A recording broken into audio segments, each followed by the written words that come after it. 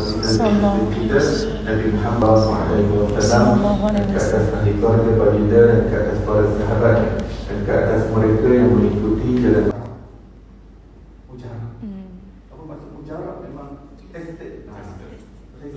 Has been proved Nah, proven. Has been proven betul. proven.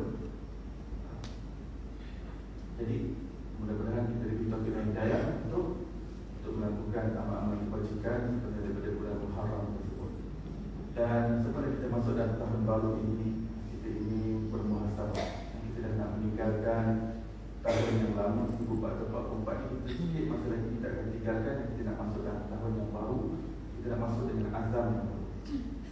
Kita nak masuk dengan tekad yang baru yang mana kita semua sama ada kita sedar atau tidak sedar kita dalam perjalanan menuju Allah Subhanahu Wa. Allah berfirman, Ya ayyuhal insan, innaka kadibun ila rabbika kadhan famulaqih. Wahai manusia, sama ada kamu sedar atau tidak sedar, segala apa yang kamu harungi, kesusahan dalam hidupmu dalam dunia ini segalanya akan bermuara berakhir dengan perjumpaanmu dengan Allah, dengan Tuhanmu dan pasti kamu akan berjumpa dengannya kamu akan bertemu dengannya dan di pertemuan itu akan ada perhitungan dan perhisaban ke atas kamu. Jadi kita hitung hisab kita bagaimana keadaan kita sebagai hamba Allah Taala adakah kita telah menunaikan amanah. Sebab datangnya kita di alam dunia ini adalah dengan memikul amanah. Dan amanah itu Allah Taala ingatkan di dalam Al-Quran dalam surah Al-Ahzab ayat 2 yang terakhir daripada surah Al-Ahzab Taala mengingatkan kepada kita semua bahawa sebelum kita di alam dunia ini kita berada di alam roh yang Allah Taala telah telah menterai perjanjian antara kita. Dan Allah kita memang tak ingat tapi Allah ingatkan perkara tersebut daripada Al-Quran dan Allah hantar Nabi-Nabi sehinggalah Rasulullah SAW ingatkan kepada kita wahai manusia pertama Quran ingatkan kita tentang alam rahim Pertama sekali antara yang Quran ingatkan kita yang kita dah terlupa yang kita berada di alam rahim Quran ceritakan dengan details macam mana kita berapa lama kita di alam rahim dan berapa lama pula kita disusukan dan apa yang berlaku ketika di alam rahim ketika proses zigot, fetus pada 40 hari pertama, 40 hari kedua, 40 hari yang ketiga. Daripada nutfah, daripada alaqah, daripada mudghah daripada fetus air mani Quran ceritakan naik janin dan juga fetus ataupun uh, ataupun uh, apa tu? ataupun uh, janin tadi kepada daripada setiap mani kepada segumpal darah daripada segumpal darah kepada segumpal daging daripada segumpal daging pun Allah kata kami bagi bentuk dan kami bagi rupa pada details. Sebab Allah Ta'ala tahu manusia Allah Ta'ala datangkan di dunia ini terlupa apa yang berlaku di alam ini maka Allah mengatakan kami ceritakan balik semula kepada kamu dan wawasaina al-insana biwalidayhi ihsana dan kami mewasiatkan kepada kamu untuk berbuat baik kepada kedua ibu bapa. Hmm. Quran ceritakan kita berada dalam rahim ibu kita dalam surah Tariq Allah ceritakan kita berada dalam sulbi ayah kita. Kamu terlupa bahawa kamu berada dalam berada dalam alam sulbi ayah kamu. Kamu dilupakan ketika kamu berada dalam alam rahim ibumu. kamu dilahirkan di dunia ini kami ingatkan supaya kamu menjadi orang yang berbudi kepada kedua ibu bapamu jangan derhaka kepada mereka dan jangan berkata uf pun kepada mereka. Jangan kata ah kepada mereka. Jangan berkata cis kepada mereka. Jangan tinggikan suara kepada mereka. Yang kamu terlupa apa yang telah berlaku di dalam rahim Kami ungkit balik cerita tersebut dengan details di dalam Al-Quran Sebab tu sampai profesor daripada Kanada bernama Dr. Moore Dia boleh dia kaji Quran berkenaan dengan perkembangan janin di dalam rahim seorang ibu Berdasarkan apa yang disebut datanya dalam Al-Quran Sampai dia dapat hasilkan buku teks dalam bidang embriologi Dia dapat dia dapat uh, uh, apa data-data saintifik yang tuntas berkenaan dengan perkembangan embrio berdasarkan kalimah dan lafaz Al-Quran yang tepat menceritakan data saintifik tersebut. Dan dia sendiri mengaku kata saya tak fikir Quran ini adalah kalam manusia. Mungkin kalam pencipta itu sendiri kerana 1400 tahun lepas tanpa mikroskop, tanpa alat pembedahan yang hebat dapat menceritakan dengan details kita kira ini adalah karangan manusia. Ini mesti datang daripada pencipta manusia itu sendiri. Itu kata Dr. Hizmo tahun 80-an ketika konferens kesihatan di Saudi Arabia. Sampai begitu detail alam rahim. Dan sebelum alam rahim Allah ceritakan juga kita berada di alam roh. Sebab sesuatu yang Allah lupakan kita bukan bermakna kita tak pernah berada di situ. menjumpakan kita untuk nak menguji kita siapa yang betul-betul berbakti pada kedua ibu bapa dan siapa yang betul-betul menjadi hamba Allah yang menyempurnakan amanah. Ya.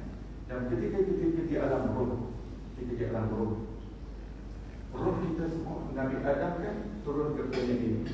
Nabi Adam asalnya termakan buah larangan kayangan syurga. Kemudian turun di planet ini. Dan bila turun tu, turun jauh di di India. Hmm. India ataupun India jauh. India jauh. Far East in- India. India jauh ni termasuklah alam timur kita ni mungkin mungkin Nabi Adam turun di gunung tu lah. Allah Adam. Sebab perkataan Hind bila sebut Hind dalam kitab dia tak hanya merujuk kepada negara India semata-mata. Sebab dulu Asia Tenggara kita ni dipanggil India jauh. India jauh. India Timur, India Timur. Ah, Termasuk dalam ah, dalam kataan India. Walhasil tak tahu. Yang penting Nabi Adam turun di timur, Siti Hawa turun di Jeddah. Ah, Perkataan Jeddah itu bermaksud nenek. Ah, Sebab tu bersempena dengan nenek kita yang pertama Siti Hawa turun di situ. Maka mereka berjalan-jalan berkumpul di Jabal Rahmah. Rahmah. Lalu kita Jabal Rahmah doa apa ni? Jodoh. Doa Jodoh.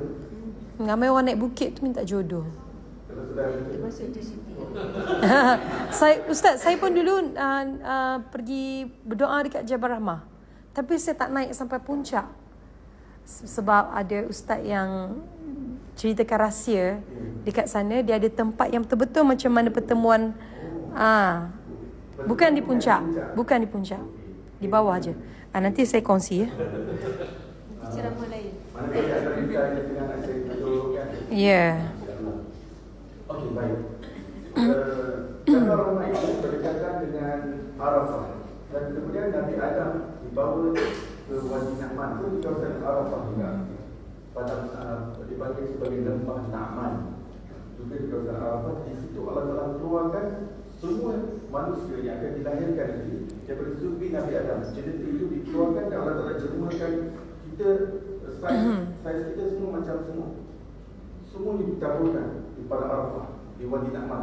Lepas tu Allah syariatkan kita untuk kumpul semua di pada Arafah. Sebab memang kita Hmm. telah berkumpul di situ. Untuk hmm. ketika dulu pada zaman Nabi Adam, Allah keluarkan kita daripada surga Nabi Adam. Hmm. Okey, apa yang berlaku di situ? Kenapa kita dikeluarkan di padang tersebut? Di tempat Na'man, di padang Arafah untuk Allah mengambil penyaksian daripada kita.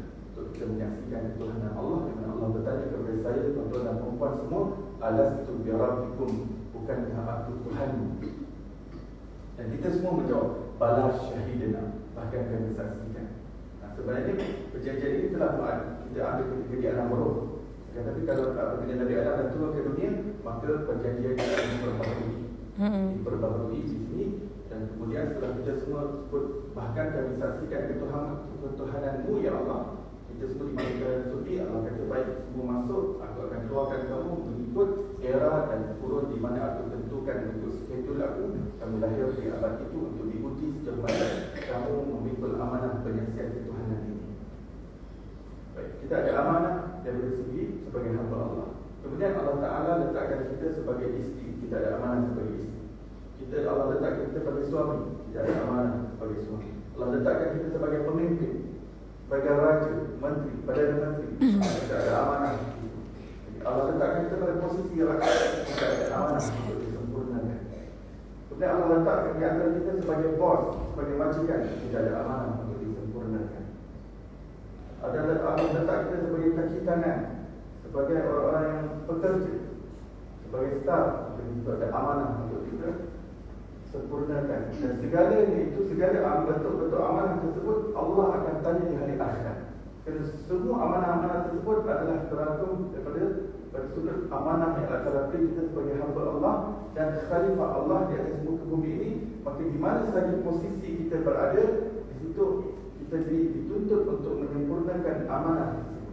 Kalau kita seorang perempuan, sempurnakan amanah kita sebagai seorang perempuan. Kita jangan tanya kenapa Allah menjadikan aku perempuan dan tak jadikan aku lelaki. Tak. Allah yang tentukan kita posisi mana dan kurun di mana kita hidup. Kita jangan tanya kenapa Allah tak hantar aku untuk zaman Rasulullah yang lebih baik. Jangan. Kita jangan petikan Allah Taala.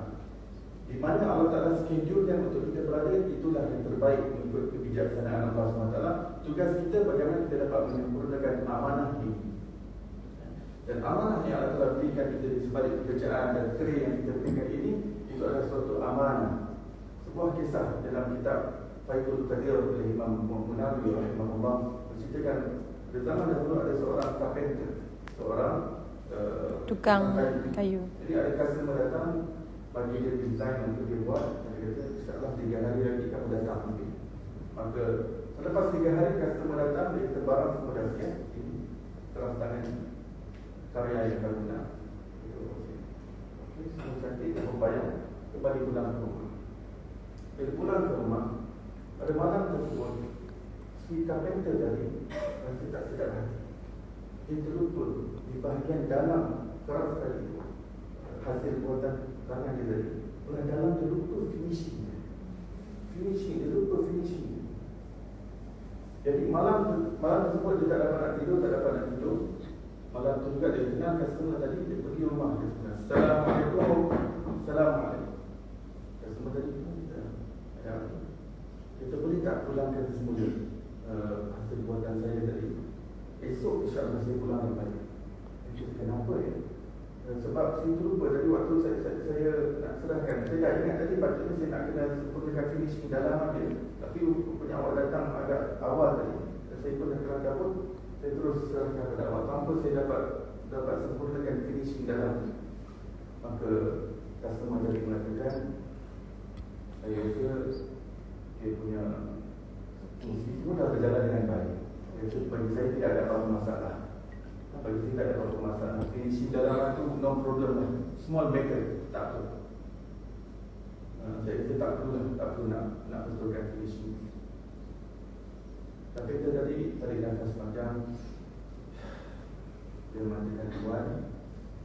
Uh, Betul Pada mata Tuan mungkin Hasil itu sudah Di mata Tuan Akan tetapi Skill untuk saya buat Hasil buatan ini skill ini anugerah Allah SWT kepada saya skill ini adalah amanah yang Allah beri kepada saya kemahiran ini Allah berikan kepada saya dan saya ingin hargai nikmat skill yang Allah berikan kepada saya ini dan saya ingin sempurnakan dengan seprofesional mungkin sesempurna mungkin sebagai satu kesyukuran saya kepada Allah SWT saya takut kalau saya tak tunjukkan uh, rasa syukur saya dengan nikmat yang Allah telah beri kepada saya dengan saya buat kerja sambil lewat dan sebagainya. Walaupun pada masa Tuhan sudah sempurna tapi pada saya saya tahu ia bukan sesuatu yang belum lagi mencapai piawaian dan kesempurnaan yang sepatutnya. Saya takut Allah telah tarik nikmat skill daripada saya. Saya takut nikmat ini Allah telah tarik dengan uh, dengan bagaimana cara pun takut Allah telah tarik ini maka saya minta maaf Tuhan ini bukan lagi antara saya dengan Tuhan ini antara saya dengan Tuhan. Ini bukan lagi Antara saya dengan Tuhan Tapi antara saya dengan Tuhan. Hmm. Bila dia berkata macam tu Baiklah Ambil balik Esok saya ambil balik. Yang besar Tuhan saya akan hantar Itu rumah Tuhan Tapi itu baiklah. Maka kisah ini dibawakan dalam kitab Kitab itu syarah kepada hadis. Apa itu? Kepada kepada kita So dalam hadis Riwayat Bayhaqi menyatakan bahawa Nabi sallallahu alaihi wasallam bersabda, sesungguhnya Allah Subhanahu wa taala suka kepada hamba-Nya apabila dia melakukan sesuatu perkara dia melakukan sesempurna yang mungkin. Dengan segala upaya yang yang dia dia, dia miliki. Yang yang terbaik cuba sempurnakan pekerjaan dia dengan cara yang baik baik amal akhirat ataupun amal dunia maksudnya dalam agama kita ini sangat disukai untuk suatu perkara itu dilakukan secara profesional dan secara efisien dengan cara yang berprinsip dan dengan cara yang berdisiplin. Jadi itu semua adalah adalah kecantikan agama kita. Adalah keindahan agama.